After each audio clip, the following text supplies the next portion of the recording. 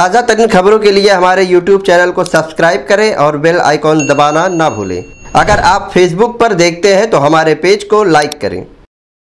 मैं हूँ इस्लामुद्दीन खान और आप देख रहे हैं प्रहार टाइम्स। ठाणे के राबोड़ी में अंजुमन खानदेश की ओर से उर्दू अदबी मरकज बनाया गया है। इसके तहत शहर में उर्दू स्कूलों के बच्चों के बीच तकरीर मुकाबला रखा गया जिसमें बच्चों ने जंग आज़ादी से मुसलमानों और उर्दू की भूमिका पर बेहतरीन तकरीर की। इसके अलावा मौलाना आज़ाद अवार्ड पाने वाले भिवंडी के कुतुबुद्दीन का भी सत्कार किया गया। महाराष्ट्र शासन की उर्दू एकेडमी की तरफ़ से अवार्ड में नाम आने वालों का भी सत्कार किया गया। राबोड़ी के अंजुमन खानदेश में इस मौके पर स्कूली बच्चों और टीचर पेरेंट्स सभी इस कार्यक्रम में मौजूद थे। राजनीति से लेकर सामाजिक, धार्मिक हस्तियाँ भी मौजूद थीं।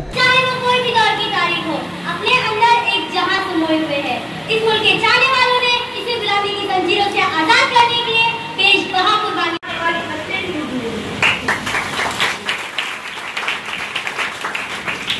इत्तेहाद की कोशिश की नाकाम रहे।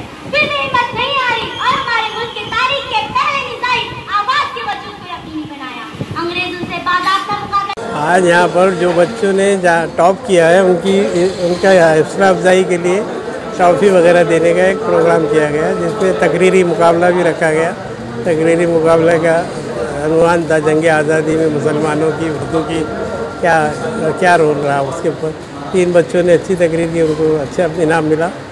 और सब बच्चों को ये कर ये हर साल हम हमारी अंजुमन की तरफ़ से ये करते आए ये दूसरा साल था। क्या मकसद है ये प्रोग्राम करने बच्चों की हौसला अफजाई और कुछ नहीं ज़्यादा से ज़्यादा लोग इसमें पार्टिसिपेट करें लोग आए अच्छी से अच्छी तकरीर करें ज़्यादा अच्छी तकरीर लिख कर दे यही इसके पीछे का मकसद है और तारीख सब मुसलमानों को मालूम पड़े कम से कम कि हमारे हम मुसलमानों ने जंग आज़ादी में क्या क्या हक क्या क्या रोल अदा किया है ये सब जो तारीख से हटाया जा रहा है अब आज की तारीख में उस, उसको लोगों को मालूम होना चाहिए कि क्या था आज यहाँ तकरीरी मुकाबला था बहुत से बच्चों ने इसमें हिस्सा लिया था। मैंने इसमें फ़र्स्ट प्राइज़ लिया है इसमें मेरे इस कराम और मेरी मम्मी ने मुझे तैयारी कराई है।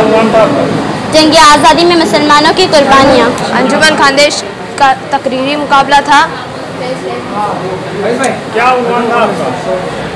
जंग आज़ादी में उर्दू का किरदार मेरा उनवान था। अंजुमन खान देश ने तकरीर करने वालों में फ़र्स्ट, सेकंड और थर्ड आने वालों को भी इनाम दिया गया। राबोड़ी के दसवीं और बारहवीं के पास होने वाले बच्चों को भी सत्कार किया गया है। तो तमाम खबरों को जानने के लिए देखते रहिए प्रहार टाइम्स।